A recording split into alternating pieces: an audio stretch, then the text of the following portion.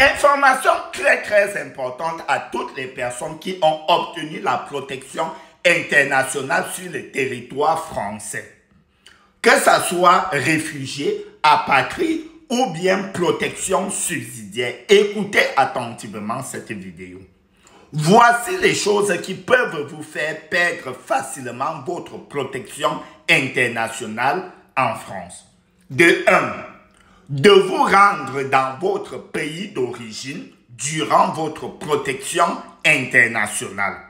Il faut savoir que lorsque vous êtes en protection internationale, vous avez déclaré que votre pays d'origine met votre vie en danger. Du coup, le Haut Commissariat des réfugiés avec la France, l'ONU, vous ont placé sous protection internationale.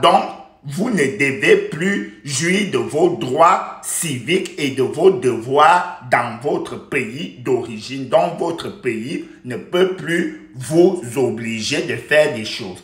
Si vous vous rendez dans votre pays d'origine avec votre titre de séjour ou votre passeport et que l'OFPRA se rend compte, il faut savoir que le titre de séjour a une puce et le titre de voyage aussi l'OFPRA peut vous retirer votre protection internationale.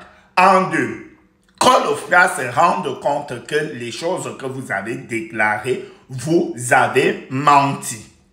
Il y a des personnes qui font des fausses déclarations dont je ne vais pas citer la liste. Si on se rend compte, on peut vous retirer votre protection internationale. En trois, les personnes qui font des fausses déclarations sur leur famille. Du coup, vous pouvez vous retrouver à être retiré de la protection internationale.